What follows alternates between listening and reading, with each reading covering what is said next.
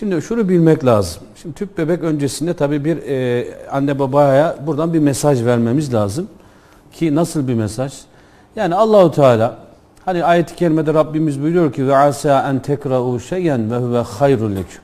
Sizin diyor kerih görmüş olduğunuz, hoşunuza gitmeyen, beğenmediğiniz şeylerde ne vardır? Hayır vardır. Ama ve asa en tuhibbu şeyen ve huve şey, şerrul leküm. Sizin de hayır bildiklerinizde hoşunuza giden şeylerde belki de şer vardır. Yani kısacası bu halk dilinde de çok kullanılıyor bir ifade. Yani sonuçta Allahu Teala e, başka bir ayeti kerimesinde de yine e, bu e, konuyla alakalı ben diyor dilediğime kız erkek veririm. Kız çocuğu veririm estağfurullah. Dilediğime erkek çocuk veririm. Dilediğime hem kız veririm her erkek veririm.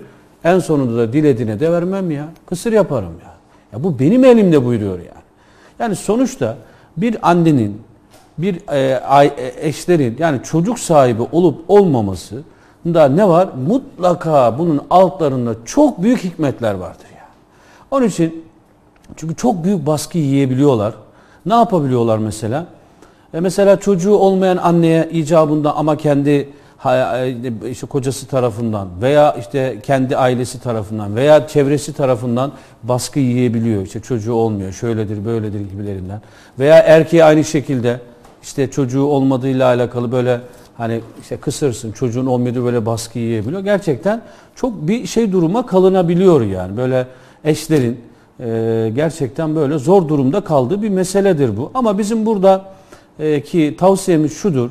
Kesinlikle bu eşler çocuğu olmayan ama bayan tarafı olsun ama erkek tarafı olsun bunların hiçbirine ne yapmasınlar? Kulak asmasınlar. Sonuçta veren de Allah, vermeyen de Allah. Ve hu ala kulli şeyin kadir buyurmuş ayet-i kerimeler. Çok ayet-i kerime var bununla alakalı. Her şeye kadir olan Allah'tır. Bunun altında nice hikmetler, nice sebepler vardır. Bir tane misal vereyim size. Bir tane. Bir tane versem zaten hepsine yetecektir.